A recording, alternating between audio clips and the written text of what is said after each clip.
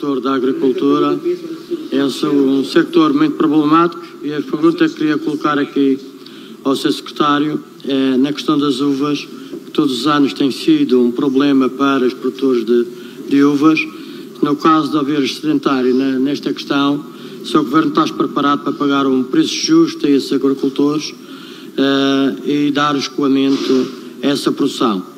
Também na questão da cana-de-açúcar, sabendo que é uma produção que vem em crescimento e uh, eu entendo que os engenhos não estão preparados para uh, escoar este produto, o que é que a Secretaria vai fazer para que esta situação não deixe muitos agricultores praticamente abandonados à porta do engenho, com caminhões cheios durante semanas, com grande perca de peso, grande perca de peso do, do seu produto, para depois serem colhidas para o próprio engenho.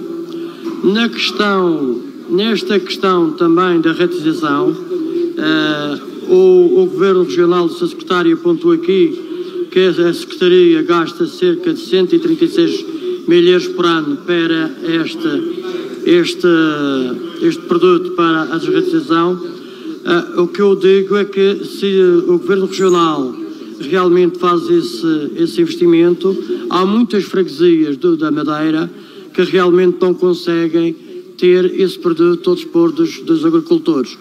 E uma grande crítica que os agricultores fazem é que vão, quando vão aos grêmios buscar esse produto para uh, dar fim aos ratos, a grande crítica que eles colocam é que ainda pagam o IVA mais de 20%.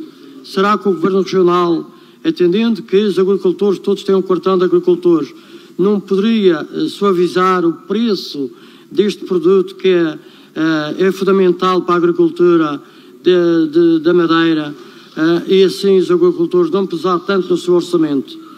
Outra pergunta que queria colocar aqui ao Sr. Secretário é que existe uma associação de agricultores no Conselho de Mexico, tem uma série de projetos para todas as freguesias, para caminhos agrícolas, e se esses projetos, quando derem entrada na vossa Secretaria, se o Sr. Secretário está disponível eh, a dar os despachos para bem de muitos agricultores do Conselho de Mexico eh, e assim terem os melhores, eh, os melhores trajetos para que possam movimentar entre as suas fazendas e as próprias casas. Muito obrigado.